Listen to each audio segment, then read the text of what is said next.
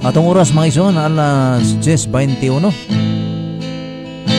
May buntag diya sa, kuan, sa sitio Ganayon, uh, Jatagon.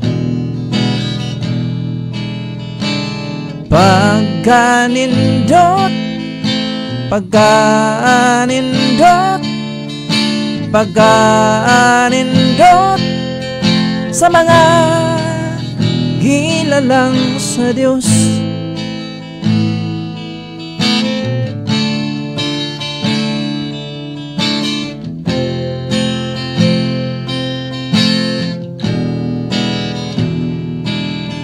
Ang mga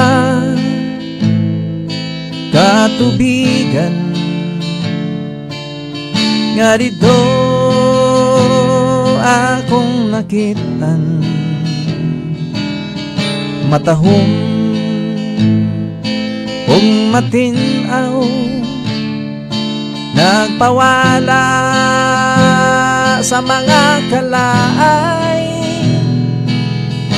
pagkaanindot pagkaanindot pagkaanindot sa mga gilalang sa Diyos.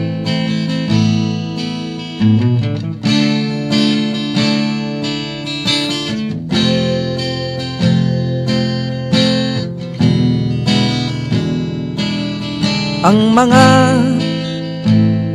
nag-agay nga busay gahom sa Dios iyang gihulagway pagkatahom kahibulungan nagpawala sa mga kalaay. Pagkaanindot pagkaanindot pagkaanindot sa mga gilalang sa Diyos.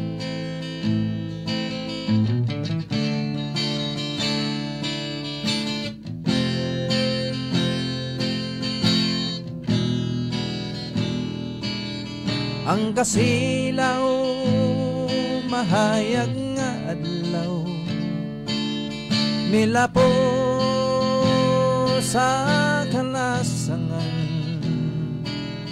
Kalanggaman nagaawit sa kalipay. Nagasinghit pagkaanindot pagkaanindot pagkaanindot sa mga hilalang sa Diyos